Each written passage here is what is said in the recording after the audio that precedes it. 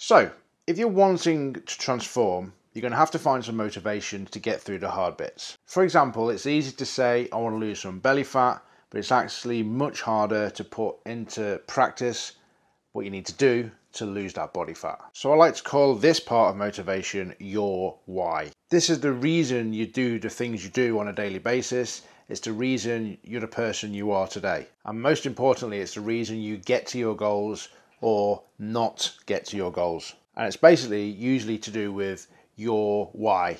If it's a strong why, you're going to get to your goals. If it's a weak why, you keep falling off the bandwagon and you don't get to that goal.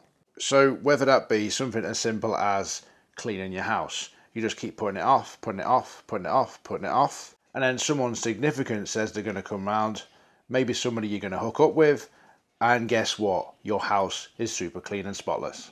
Now, if we take the energy from that goal or something you you got to really really easily, you'll kind of realize it had a strong why or a strong reason behind it. So let's do that for our transformation goal. Losing some belly fat isn't ever going to get you to your goal. However, many times you say it, or however many times you start with, I want to lose some belly fat, you'll never get to that goal. You've got to go deeper. We've got to go stronger on this reason, on this why you're doing it in the first place. So, you're going to need a piece of paper for this one.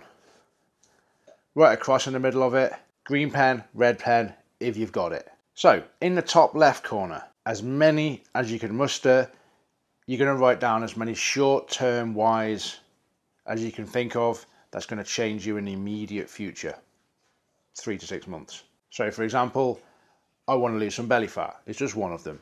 I want to lose weight so I can look better.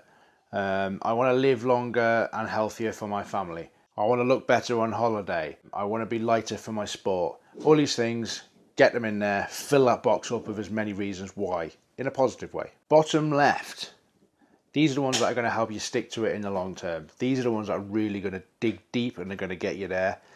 These are your long term goals. So, I want to be able to run around with my children or grandchildren in the future.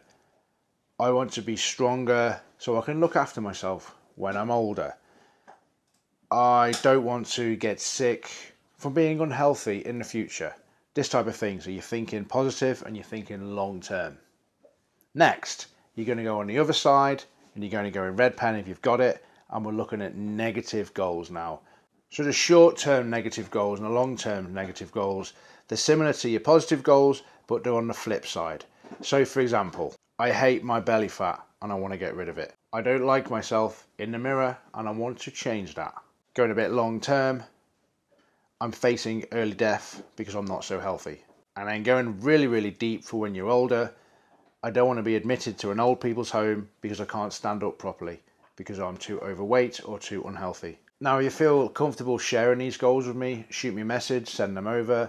Or if you're on the six week challenge or you're in our community group, go over there, post them. Everyone will get involved and give you some positivity around your goals.